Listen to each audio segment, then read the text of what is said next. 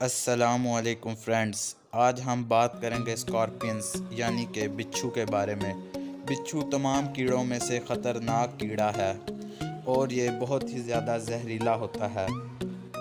اور video start ہونے سے پہلے میں آپ سے گزارش کروں گا کہ ہمارے چینل امپورٹنٹ فیکٹس کو سبسکرائب اور ویڈیو کو لائک کر دیں، کیونکہ آج ہم اس میں بتائیں گے کہ بچھو کا زہر اتنا مہنگا کیوں بکتا ہے۔ تو ہم بتاتے ہیں آپ کو، اس سے پہلے آپ کو کچھ امپورٹنٹ فیکٹس جاننے پڑیں گے اسکارپینس کے بارے میں۔ جو اسکارپینس ہیں، ان کے پاس دو ہاتھ ہوتے ہیں اور آٹھ پاؤں ہوتے ہیں۔ یہ دن کے وقت زیادہ پہاڑوں کے اندر بنی غاروں میں اور دراڑوں میں چھپے رہتے ہیں اور رات میں ہی شکار کے لیے نکلتے ہیں۔ رات میں ان کی جسم بہت زیادہ چمکتا ہے اور بہت زیادہ روشن نظر آتا ہے، ایسے کہ کسی نے لائٹ چلا دی ہو ان کے اندر۔ جو اسکارپینز ہیں، ان کے ڈنک میں بہت زیادہ زہر ہوتا ہے اور یہ ہم انسانوں کے لیے بھی خطرناک ہو سکتا ہے۔ اگر یہ ہمیں کاٹ لیں تو ہمیں تو بہت زیادہ درد ہوگی، پر بہت سے ایسے چھوٹے کیڑے ہیں۔ اگر یہ ان کو کاٹ لیں تو ان کی موت ہو جاتی ہے۔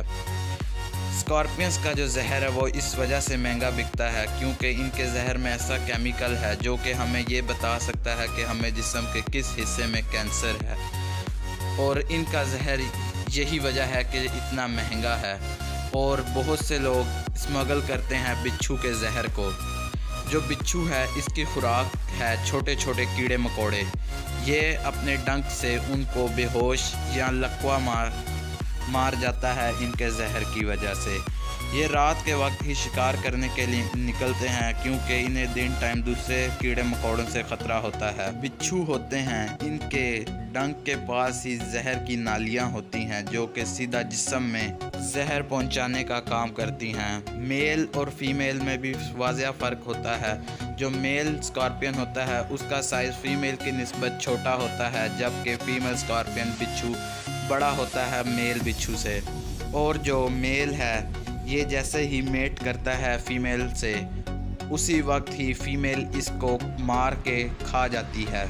فیمیل اسکارپین میل اسکارپین کو اس وجہ سے مار دیتی ہے کیونکہ اسے پریگننسی کے دوران کھانے کی ضرورت ہوتی ہے اور وہ انہی سے، اس کے جسم سے ہی وہ پروٹین حاصل کرتی ہے، اسے کھا کر۔ امید ہے آپ کو ہماری آج کی ویڈیو پسند آئی ہوگی۔ ہمارے چینل کو سبسکرائب اور ہماری ویڈیو کو لائک کرنا مت بھولیں۔ اللہ حافظ۔